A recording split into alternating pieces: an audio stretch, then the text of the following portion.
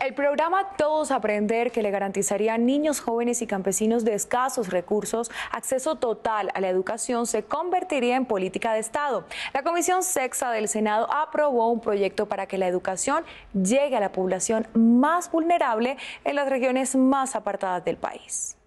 A nosotros la Comisión Sexta del Senado aprobó en primer debate el programa Todos a Aprender, un proyecto del Ministerio de Educación cuyo propósito es garantizar la educación a campesinos y estudiantes de todo el territorio nacional. Si se aprueba esta iniciativa, sería obligatoria la asignación de maestros para poder aplicar el programa. Si un niño en un colegio del urbano recibe una educación con excelencia, también ese niño en la zona rural lo reciba. Esto consiste en que se le da una preparación extra a unos tutores, ellos a su vez le dan esa preparación otro grupo de docentes y estos le dan por, por último a todo el cuerpo de docentes. Pero, ¿cómo funciona y por qué la importancia de esta iniciativa? Este proyecto va a consolidar el proceso de mejoramiento continuo de la calidad educativa.